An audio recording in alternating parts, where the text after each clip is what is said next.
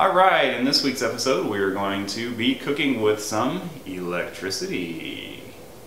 Was that cool? Yeah, this should be fun. We're going to be using a couple different welders to cook some hot dogs. I had an old timer tell me about this a long time ago and I didn't believe him, so I'm going to give it a try.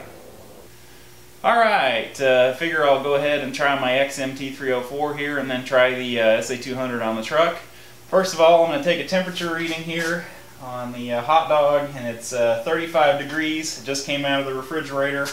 I uh, skewered it on a piece of 309 eighth inch filler rod and uh, I'm probably just going to try and lay another piece of filler rod on the top of it here just to try and get the most uh, electrical conductivity or conduction I can't possibly can out of it and uh, let's see we'll give it a go here. Whoa. Okay, maybe not. Oh, well, it's actually Ooh, it's sizzling. I kind of didn't expect that one. And we're down to 45 volts here. Uh, I can't really tell exactly how much current we're pulling. But we'll see how much uh, see how much heat we're getting here. I'm trying not to uh, short these two electrodes out. There must be enough salt in this uh, hot dog to actually uh, conduct. Yeah, 47 volts. We're actually doing something here. I don't know if I would eat this afterwards, but it's definitely sizzling a bit.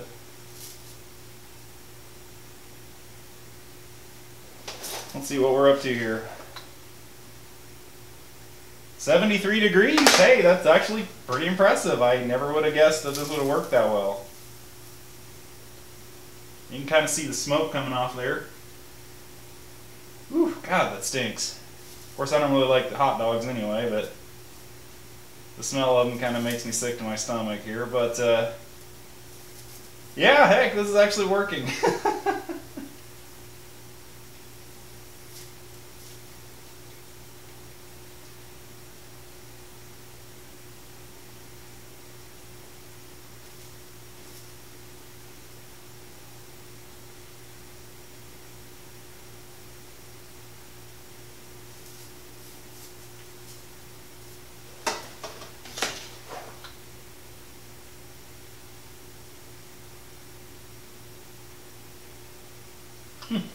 92 degrees. I'm impressed. I think you could uh, actually heat this thing up to the point where it would be tasty to eat.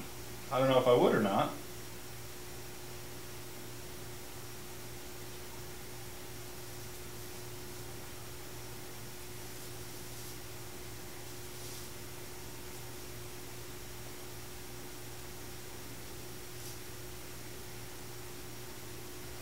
Hmm. 118 degrees. This actually does work. It really is amazing. I never would have guessed that. think I'll go with fourth gear at about 80 on the fine current. I like my hot dogs really well done.